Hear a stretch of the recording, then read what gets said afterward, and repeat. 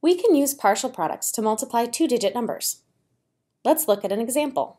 Sandra has 12 model airplane kits with 24 miniature model planes in each.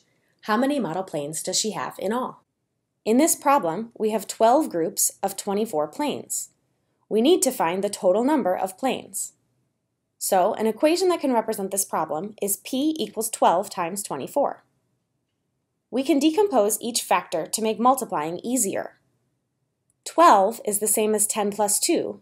24 is the same as 20 plus 4. Now we can multiply each part of one factor by each part of the other factor.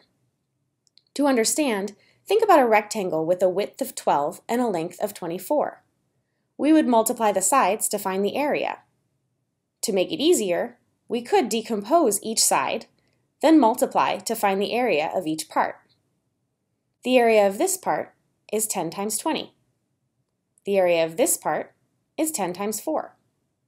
The area of this part is 2 times 20, and the area of this part is 2 times 4. The total area of the rectangle is equal to the sum of these partial areas. We can write this as an expression with parentheses. 10 times 20 plus 10 times 4 plus 2 times 20 plus 2 times 4. Now simplify each set of parentheses. In other words, find the area of each part. 10 times 20 is 200. 10 times 4 is 40. 2 times 20 is 40. And 2 times 4 is 8. Add the partial products to find the total area, or total product. 200 plus 40 plus 40 plus 8 equals 288.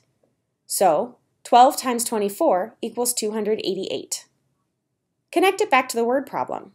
In 12 kits of 24 planes each, Sandra has 288 planes in all.